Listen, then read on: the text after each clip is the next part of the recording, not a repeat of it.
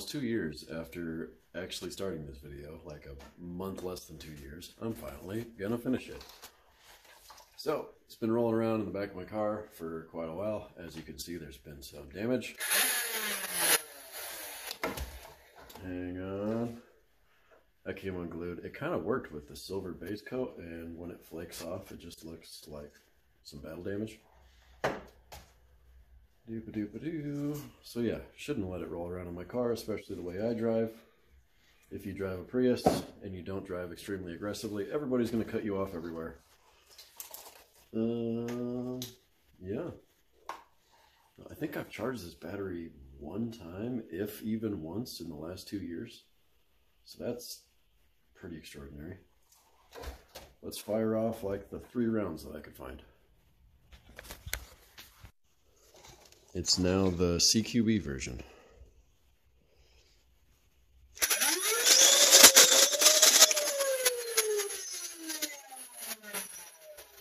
Still works good. I don't know how it hasn't fried. But, uh, where was I going with this? Yeah, so this is the Walmart brand Nerf minigun thing. It's not actually Nerf. Um, that's what I used for the base. The very first video I deleted, so I made this intro instead. It's probably worse, which is fine. Um, yeah. After all the trials and tribulations of going through different power sources, finally found one that works really, really well. And it didn't burn it up. So, great project.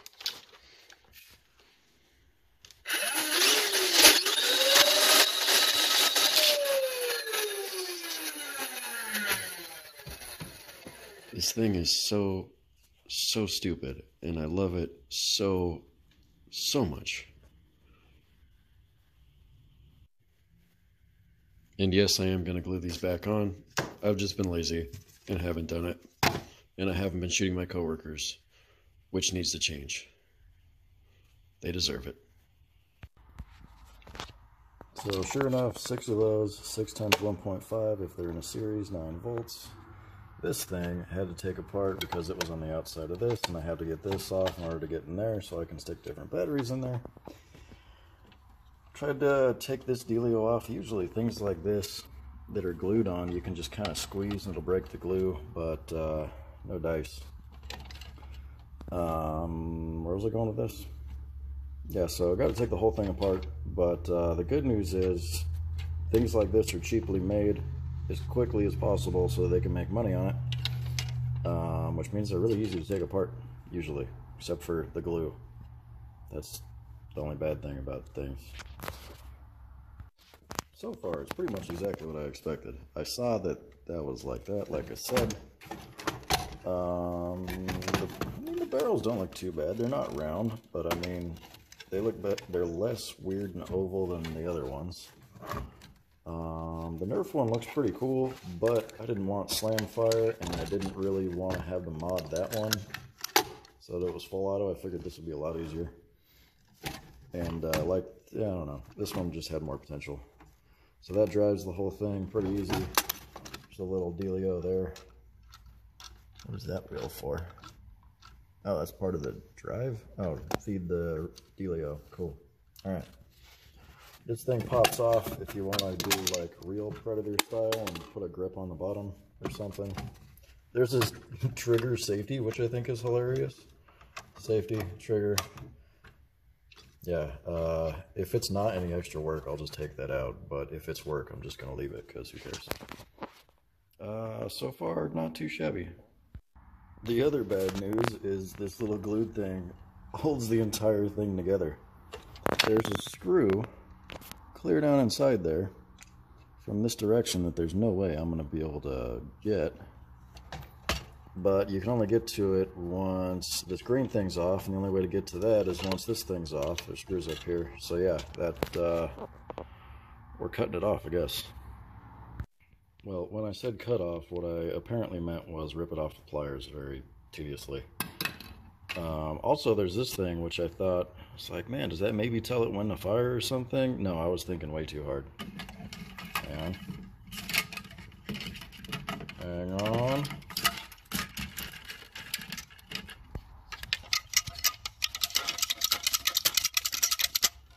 It just makes noise every time a barrel goes by.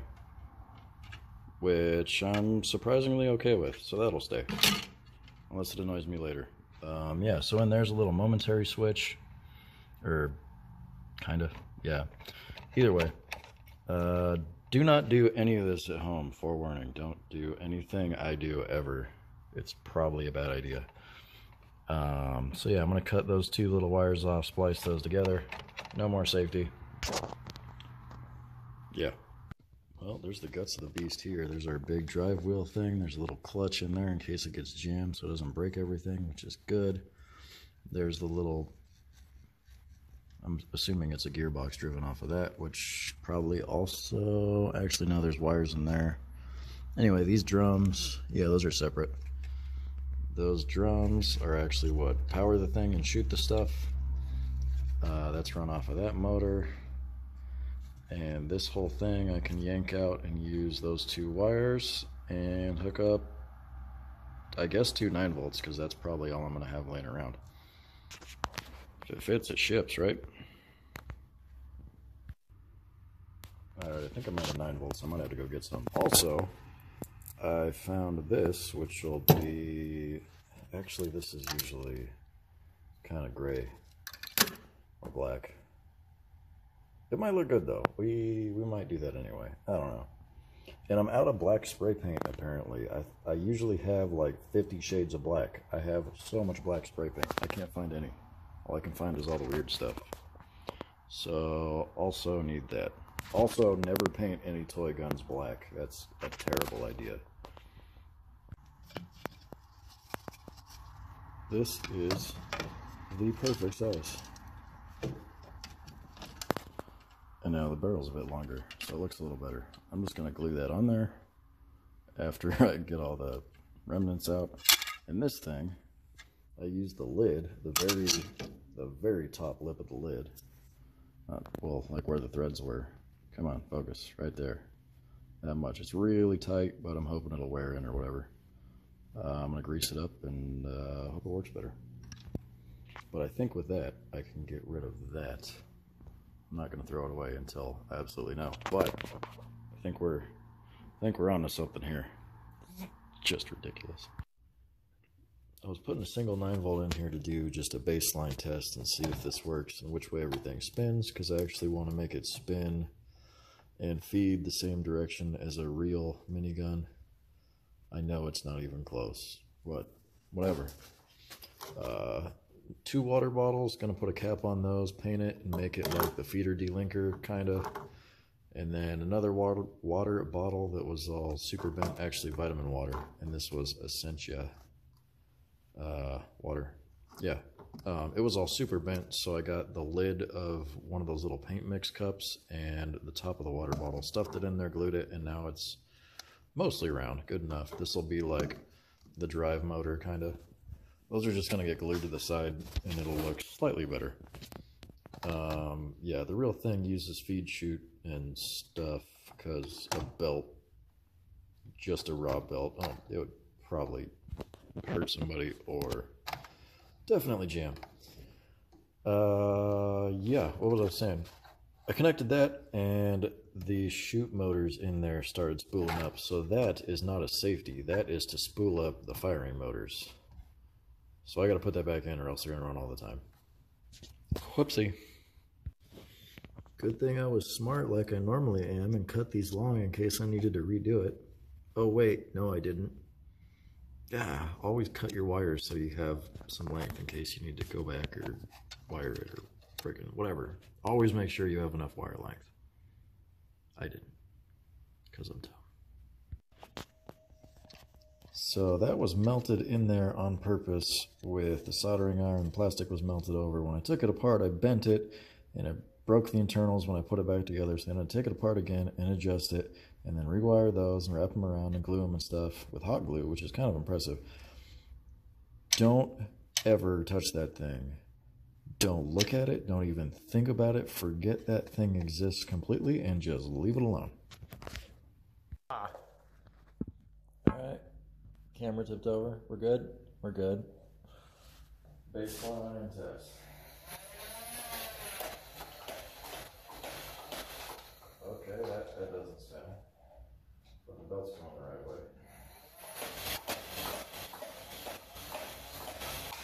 The accuracy's not as terrible as I thought it would be.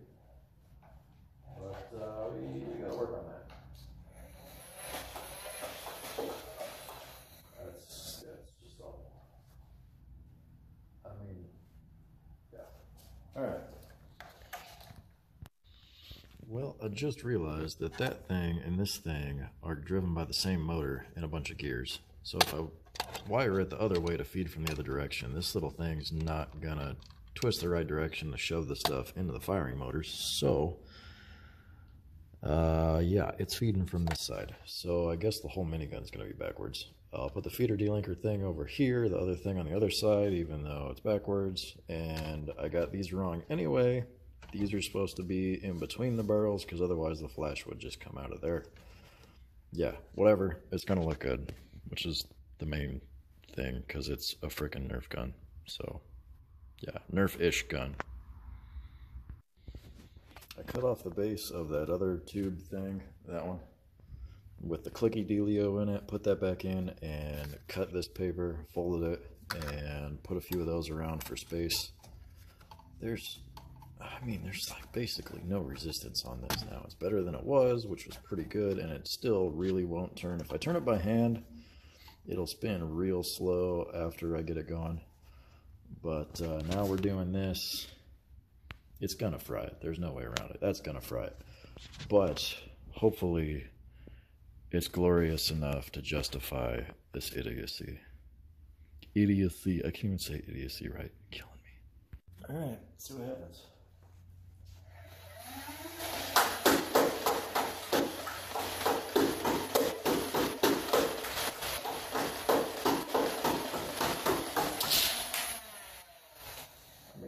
Spins, not real fast, but it actually spins now. It shoots with a lot more energy, but also uh, it was bogging down before because the motor couldn't turn it, so that was pulling a lot more amps than it would have been, so it was shooting a lot less far than it would have.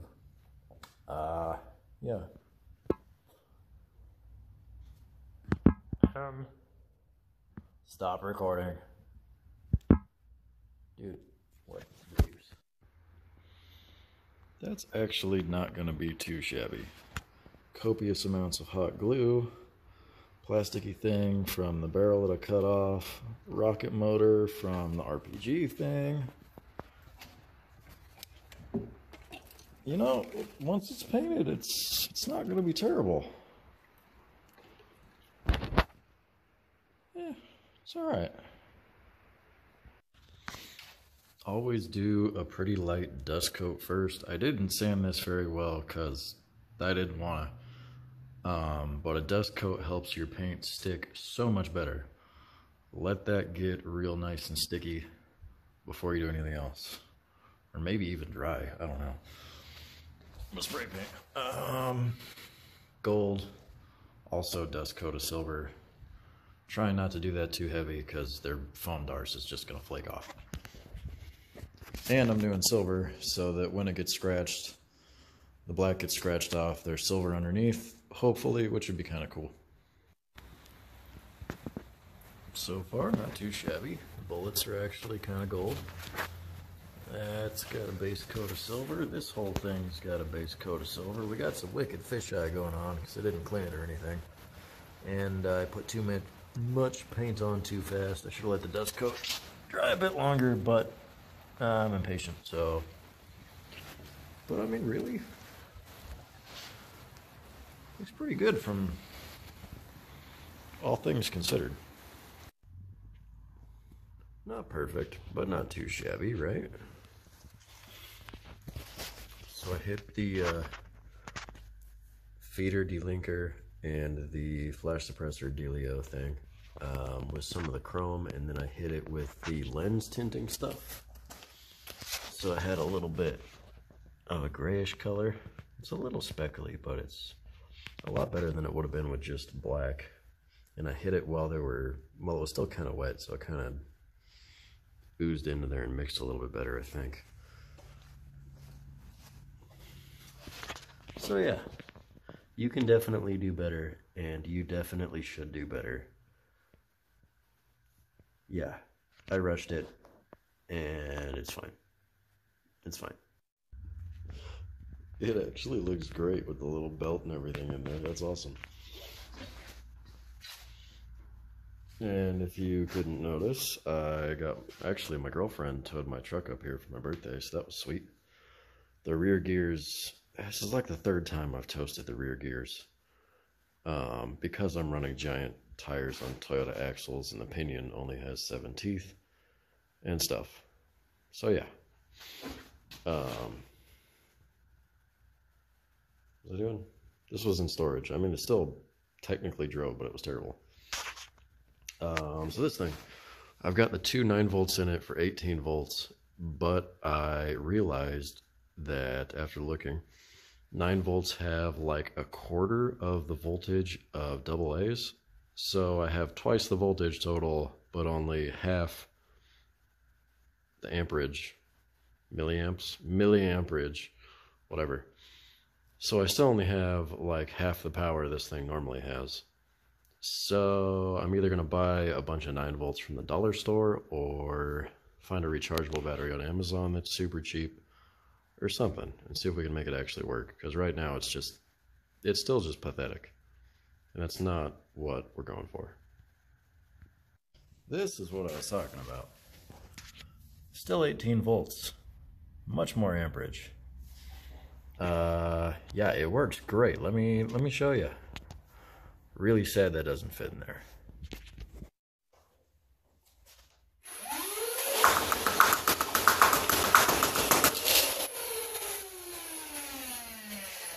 That is, there goes the battery. That is considerably better. That's, that's what I'm talking about. I did catch a little whiff of fried electronics though, so we'll, uh, we'll rock it till it burns up. All right, all right. So you can see I bought a voltage regulator thingy from Amazon for like six bucks. I hope it works. I don't have a lot of faith, but we'll see.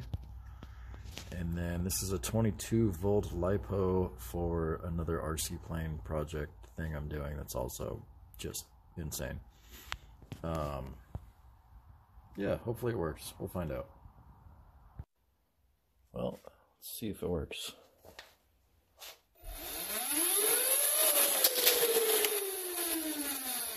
What? Well, that ain't right. Well, that was dumb. Why did I do that? See that? That says negative, and see that red one? Red one is usually positive in DC, so how did I do that? It's color-coded.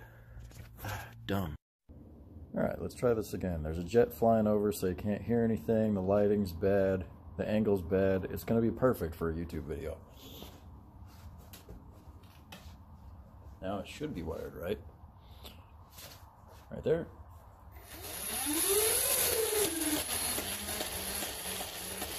With a deuce. Now there's like no power.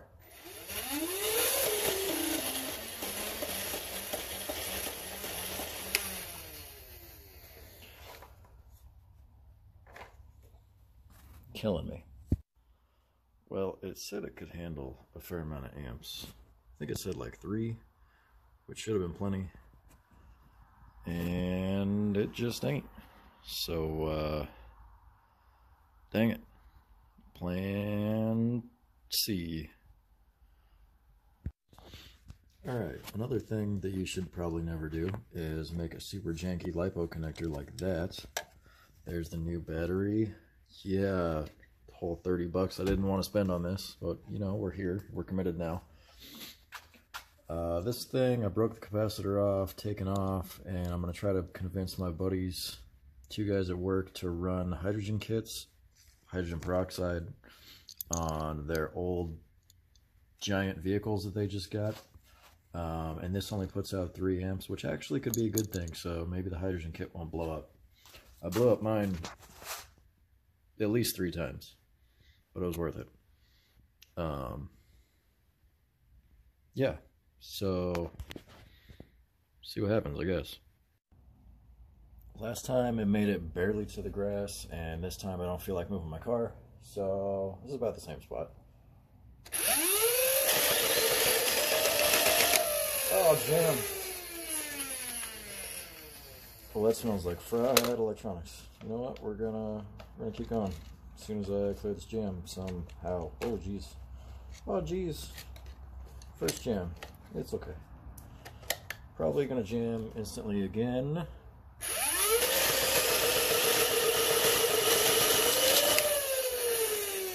Yeah.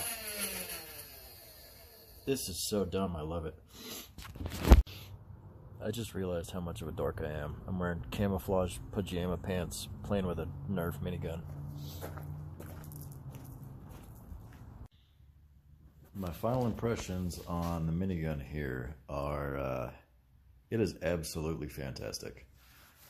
After taking it to work and shooting my coworkers and having my coworkers shoot my coworkers, uh, definitely worth it. Uh, yeah, no, no regrets, no regrets. Um, I left the little cover thing in my car, and I don't feel like getting it.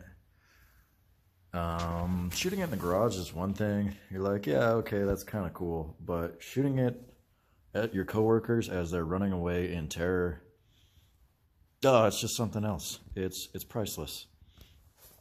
Um, yeah, I mean, I'll shoot it again in the garage. Unfortunately, I can't shoot it. Well, I can't show videos of me shooting it at work because we have all kinds of stuff that they would be very unhappy um, if it made it to the internet and stuff like that is laying all over the place at my work.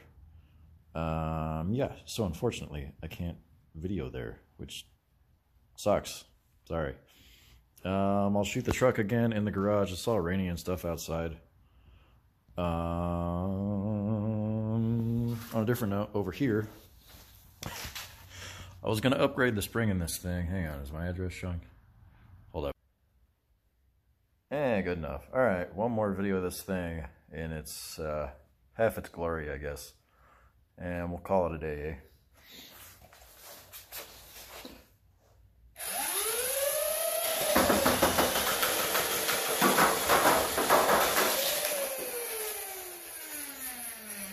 And uh, yeah, after shooting my coworkers with it, they come screaming out of there, and they go pretty far. It is fantastic. But it does smell like burning electronics every time I shoot it, which is concerning. They're cool colors, a lot of them. It's a big old fish.